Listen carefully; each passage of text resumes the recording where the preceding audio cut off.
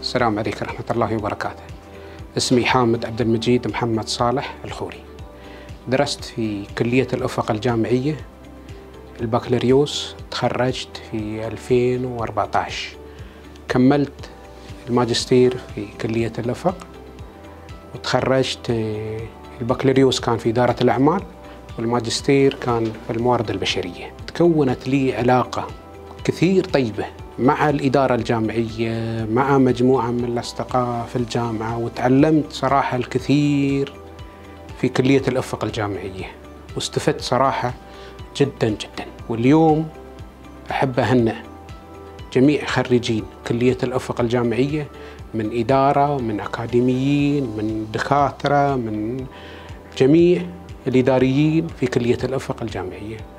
اليوم حبيت أتكلم أيضا أنا بإضافة على عملي في الحكومة أشتغل عندي عدة شركات خاصة فيي منها مركز Dietox Nutrition وأشكر إدارة الجامعة على تواصلهم معايا بالإيميلات خلال الأيام المفتوحة وخلال حفلات التخرج. وهذا التواصل يرجع لنا ذكرياتنا الحلوة في الجامعة.